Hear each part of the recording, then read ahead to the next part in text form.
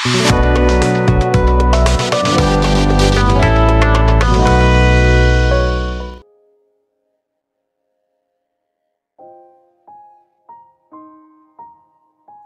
Bapak Ibu saudara-saudara, selamat pagi bagi kita semua. Senang sekali bisa berjumpa dengan Bapak Ibu saudara-saudara di pagi hari ini dalam Rehat Renungan Harian Toraya edisi 14 Juni 2023. Kita akan belajar firman Tuhan. Sebelumnya mari kita berdoa. Bapak dalam surga terima kasih penyertaan-Mu senantiasa kami rasakan dalam kehidupan kami Sekali lagi Tuhan sudah menjaga, melindungi, menyertai hidup kami dalam kami beristirahat sepanjang malam Tuhan. Hari ini kami akan memulai segala kegiatan kami. Kami akan melandasinya dengan membaca dan mendengarkan firman Tuhan. Berkati kami semua Tuhan, agar boleh mengerti firman-Mu. Berkati hambamu yang terbatas ini. Ampuni semua salah dosa kami Tuhan. Kami berdoa dalam nama Tuhan Yesus. Amin.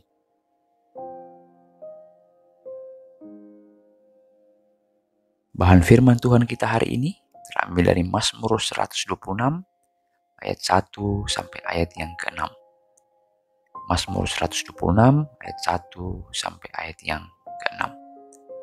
Pengharapan di tengah-tengah penderitaan. Ketika Tuhan memulihkan keadaan Sion, keadaan kita seperti orang-orang yang bermimpi. Pada waktu itu mulut kita penuh dengan tertawa dan lidah kita dengan sorak-sorai pada waktu itu berkatalah orang di antara bangsa-bangsa, Tuhan telah melakukan perkara besar kepada orang-orang ini. Tuhan telah melakukan perkara besar kepada kita, maka kita bersuka cita. Pulihkanlah keadaan kami ya Tuhan, seperti memulihkan batang air kering di tanah Negeb. Orang-orang yang menabur dengan mencucurkan air mata akan menuai dengan bersorak-sorai. Orang yang berjalan maju dengan menangis sambil menabur benih pasti pulang dengan sorak-sorai sambil membawa berkas-berkasnya. Demikian firman Tuhan. Amin.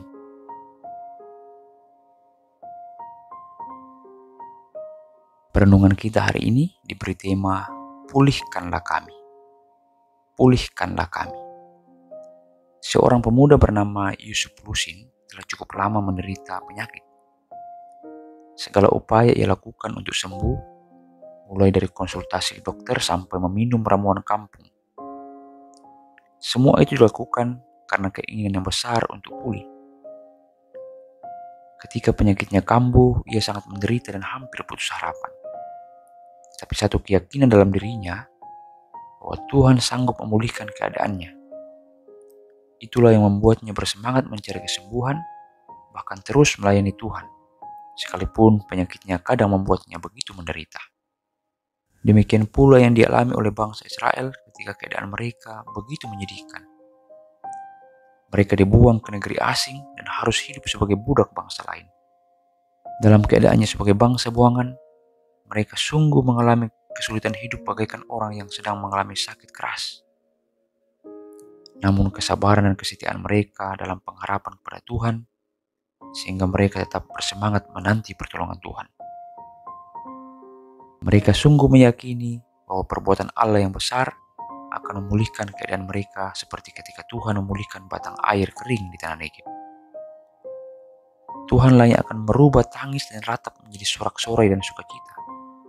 Seperti orang-orang yang menabur dengan berjurkan air mata, akan menuai dan kembali membawa berkas-berkasnya dengan sorak-sorai.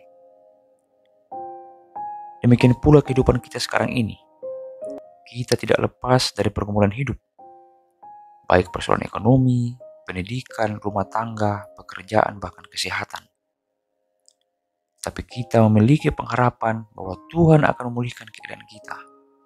Karena itu, teguhlah berpengharapan dalam Tuhan, karena dialah yang akan memulihkan keadaan kita. Teguhlah berpengharapan dalam Tuhan, karena dialah yang akan memulihkan Amin firman Tuhan. Bapak Ibu saudara-saudara mari kita berdoa. Terima kasih Allah Bapa Engkau sudah mencipta kami. Terima kasih Tuhan Yesus Engkau sudah menebus dosa kami. Terima kasih Roh Kudus Engkau sudah mewahyukan kebenaran kepada kami. Terima kasih Allah Tritunggal. firman-Mu hari ini begitu indah dalam hidup kami. Firman-Mu mengajar kami agar kami selalu setia dalam iman kami, teguh dalam iman kami. Karena kami yakin Tuhan akan senantiasa menyertai dan melindungi kami. Bapak dalam surga kami menyerahkan segala hidup kami, segala aktivitas kami, segala pekerjaan pelayanan kami di hari ini Tuhan. Kami berdoa bagi kami yang bekerja, Kau berkati kami semua, agar kami boleh bertanggung jawab dalam kami melaksanakan pekerjaan kami masing-masing. Kami berdoa untuk anak-anak kami yang menempuh pendidikan di sekolah maupun di perguruan tinggi Tuhan. Kau berkati mereka semua, Kau berkati agar mereka menjadi anak-anak yang menjadi terang, di mana Tuhan tempatkan mereka masing-masing. Anak-anak muda kami Tuhan, dalam pergumulan mereka mencari pekerjaan, dalam pergumulan mereka mencari pasangan hidup, Kau berkati, tunjukkan pilihan terbaik bagi mereka semua Tuhan. Kami berdoa untuk pelayan-pelayan Tuhan, Bapak pendeta sekeluarga, majelis-majelis gereja, guru-guru sekolah minggu, dan pengurus-pengurus OIK Tuhan. Berkati mereka semua dalam mereka melaksanakan tugas pelayanan yang kau empankan kepada mereka masing-masing. Kami berdoa untuk orang-orang yang dalam kelemahan tubuh, yang kau boleh sembuhkan, yang berduka, yang kau boleh hiburkan. Orang tua kami dalam lanjut usia Tuhan, kekuatkan iman percaya mereka. Kami berdoa untuk pemerintah kami, kau berkati mereka, karena mereka memerintah kami dengan penuh kebijaksanaan. Semua pergumulan hidup kami, kami serahkan dalam tangan kasih Tuhan. Ampuni semua salah dosa kami Tuhan. Kami berdoa dalam nama Tuhan Yesus. Amin. Demikian renungan kita hari ini. Semoga Tuhan senantiasa memberkati kita semua. Shalom.